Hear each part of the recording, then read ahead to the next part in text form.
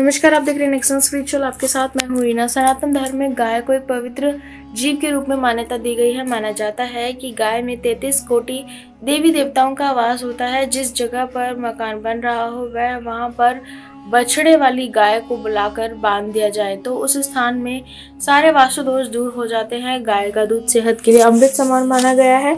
गायों की सेवा करने और उसे रोज़ाना रोटी खिलाने से कुंडली के सारे दोष दूर हो जाते हैं।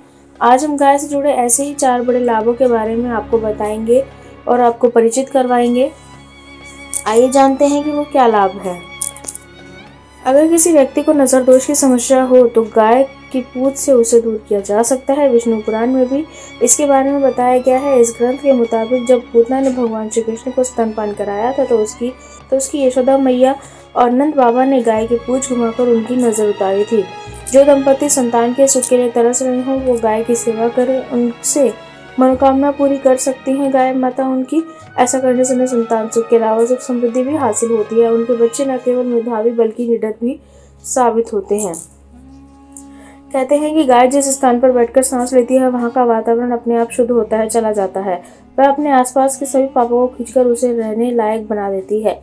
महाभारत के अनुशासन पर्व में इसका विस्तार से उल्लेख किया गया है।